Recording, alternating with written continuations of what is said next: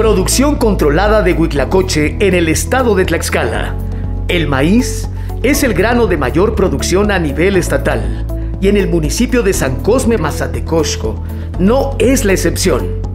En los últimos años surge la inquietud de producir huitlacoche por parte de algunos productores, para lo cual realizaron diversos experimentos. Mi nombre es María Felicita Rojas Cortés, soy originaria de San Cosme Mazatecosco, estado de Tlaxcala. Hace tiempo hice un experimento que por los, nuestros antepasados me dijeron que desgranara el maíz y este, con el cuitlacoche seco que sacamos del criollo, lo hice la mezcla, lo revolví el polvito, hice un polvito y lo sembré, pero no dio resultado porque este, en la milpa salía el cuitlacoche, en el carricito y hasta que me acerqué este, a la presidencia y aquí en el campo el maíz nosotros lo cultivamos se invierte mucho dinero y ganamos pocos los campesinos. En el año 2019, solicitan el apoyo de las autoridades del municipio y son atendidos por la Dirección de Desarrollo Económico, quien a su vez se dirige con la Brigada de Educación para el Desarrollo Rural número 19 para exponer las necesidades sentidas de los productores en materia agrícola, trabajo fortalecido y respaldado en un acuerdo de colaboración. Es entonces cuando se elabora un plan de acción donde se determina que para producir huitlacoche de manera controlada se puede utilizar un paquete tecnológico para la producción de maíz. Sin embargo, forzosamente se requiere trabajo de investigación, para lo cual afortunadamente el Colegio de Postgraduados ubicado en el estado de Puebla ha logrado después de muchos años de trabajo el mejoramiento de la cepa para Huitlacoche en la fase de laboratorio in vitro para su cultivo.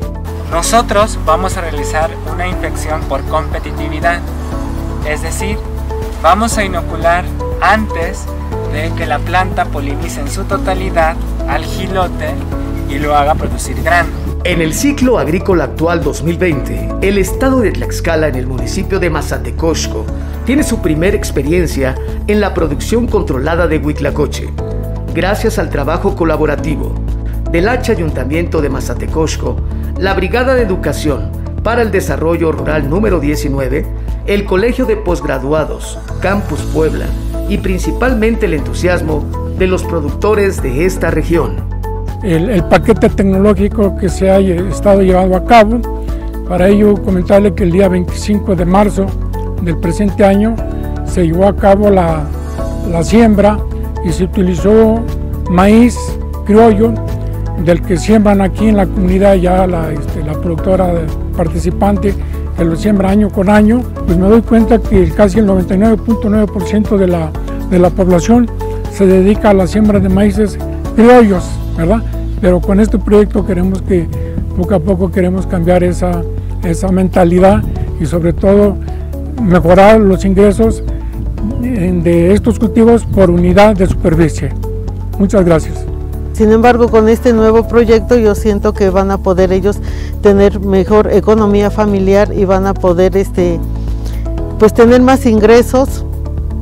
Le doy mis más sinceras gracias a todos los que están participando en este proyecto, a los agricultores, a la presidencia municipal, a la Brigada 19 y al Colegio de Postgraduados de Puebla.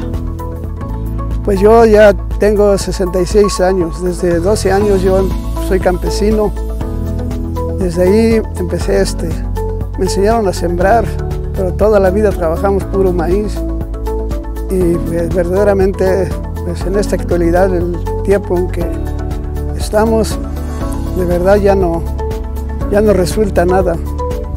Sembramos por sembrar, pero la cosecha es muy este, barata. Que sí me, me satisface más que nada intentarle esto, lo del coche. Primero, barbecho, luego del barbecho, cortada de surcos, surqueadas, sembramos, y luego pues que la labrada, de ahí que la desenyerbada y que este, pues se, hizo todo el trabajo que se hizo la primera, la segunda y su fertilizante y pues todo se fue haciendo el proceso por, para dar, estar hacer lo del huitlacoche. Y ahorita pues entonces seguimos. Hoy, el campo mexicano tiene más de 50 años cosechando esta trufa, que en ocasiones llega a ser más cara que la carne de res, pues una mazorca invadida de hongos puede costar lo mismo que 12 mazorcas limpias.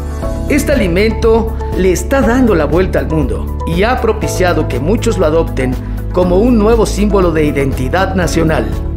Las brigadas tenemos el objetivo principal de contribuir al desarrollo rural y como brigada tenemos un área de influencia en la cual se encuentra el trabajo en Mazatecosco, lugar donde nos encontramos actualmente y tenemos firmado un acuerdo de colaboración. Agradecemos el, el trabajo colaborativo del municipio, del Colegio Posgradados, con nosotros como Brigada de Educación para el Desarrollo Rural número 19.